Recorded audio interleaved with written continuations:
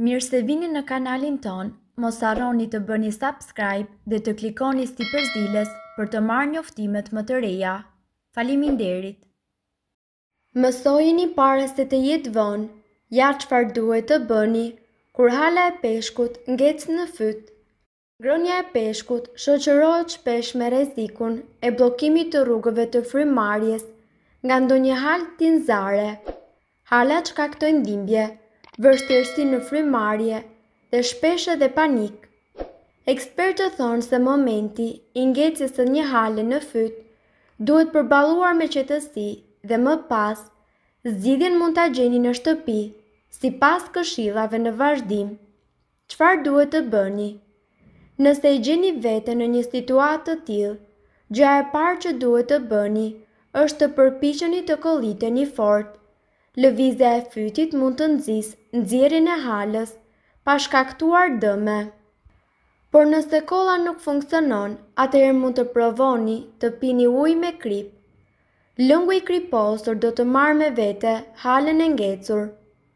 Buka me gjalp kikiriku është një mënyrë shumë e mirë për të eliminuar këtë problem. Hala do të ngjitet me gjalpin e kikirikut dhe do të zbresë në stomak. Një tjetër mënyrë është që të hani një grusht me arrorë, përtypja e të cilëve vë në lëvizje pjesën e fytit dhe shkëput halën e ngecur në fyt. Disa gllënka të vajit të ullirit e bën pjesën e fytit më të rrëshqitshme, duke lehtësuar lëvizjen e halës drejt stomakut. Për më tepër, vaji i ullirit do të qetësojë irritimin e shkaktuar nga hala. Ekspertët thonë se një lugë me pilaf e papërtypur merr me vete halën e bllokuar dhe lehtëson frymëmarrjen. Përveç pilafit, ju duhet të mbani një copë bananeje në gotë për rreth dy minuta dhe më pas ta gëlltisni pa e përtypur. Në fund, pini një gotë ujë. Këshillohet që të mos përpiqeni të hiqni halën nga fyti me gishta. Një gjë e tillë mund të shkaktojë probleme dhe gjakderdhje të brendshme. Asgjë nuk shijon më shumë sesa një tavë peshku buzë detit, deri në momentin kur një halë kalon keq në fyt. Ndonëse shumica e halave të peshkut janë të imta, ato të mëdhat mund të jenë problematike dhe nëse nuk tregoni kujdes gjatë pastrimit të peshkut, mund të mbyteni. Të gjithëve na ka ndodhur një gjë e ngjashme dhe të alarmuar nuk kemi ditur ç'të bëjmë. Ndaj duke njohur këtë shqetësim, do ju tregojmë ndihmën e parë. Kujdes, asnjëherë mos përdorni një vegël ose një objekt tjetër për të zhvendosur halën. Këtë gjë mund ta bëjë vetëm një specialist. Kollituni. Gjëja e parë që ju do të bëni instinktivisht është kollitja.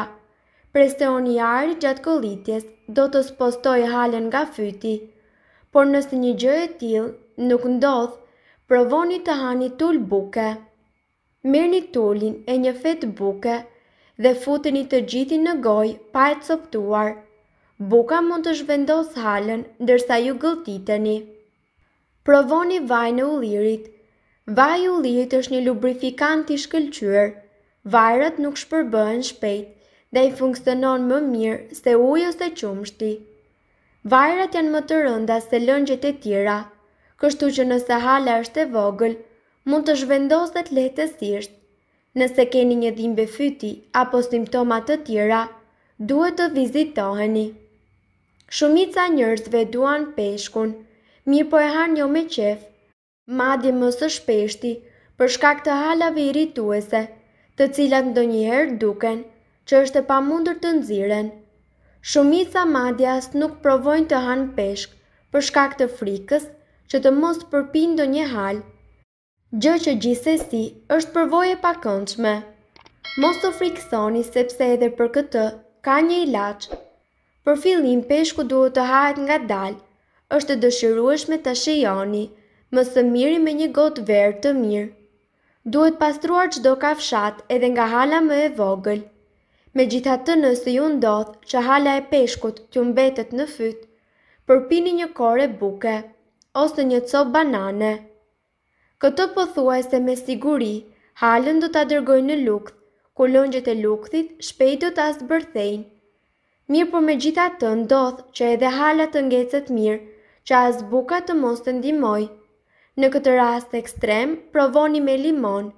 Prini një fetë limoni dhe ngadalë thitheni lëngun, i cili duke kaluar nëpër trup, do ta zbërthejë halën.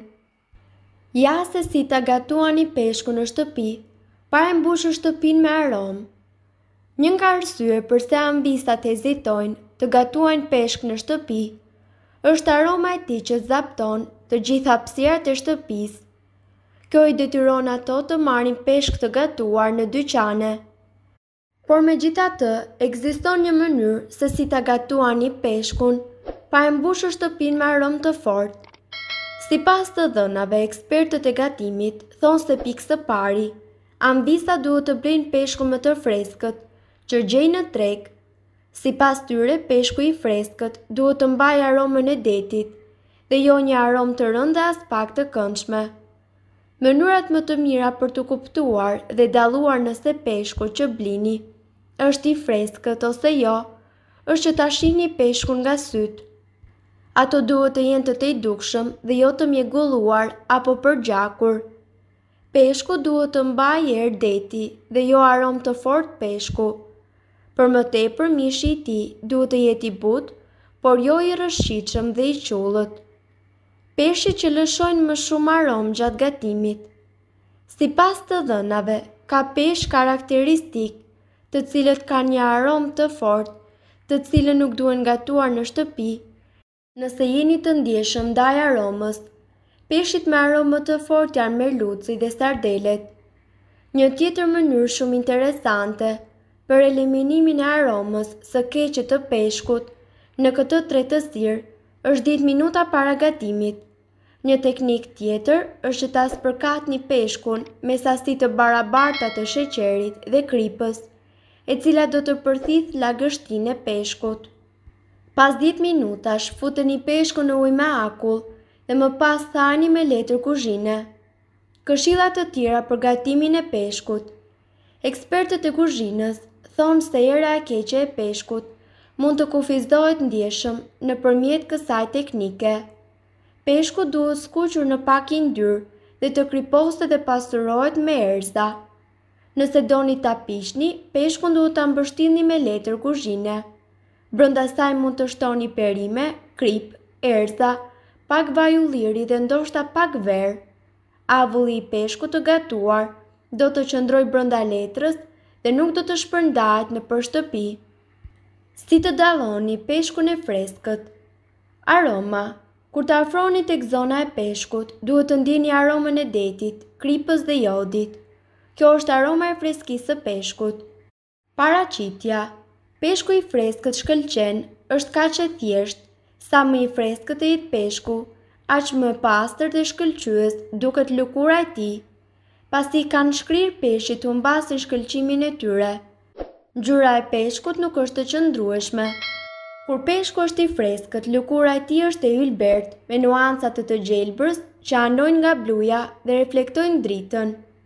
Sytë e peshqve janë gjithashtu tregues freskie.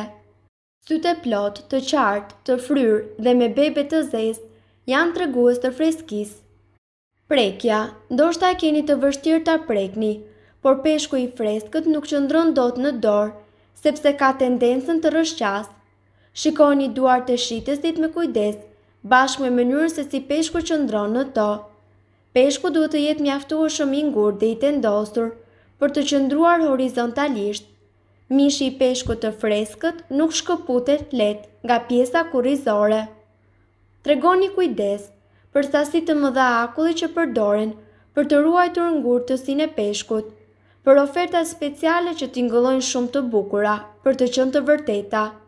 Për të brendshmet e peshkut, pasi janë gjithashtu tregues të freskisë, Këto organe ndihmojnë që të kuptoni nëse produkti i blerë është rritur në rezervuar apo peshkuar në det.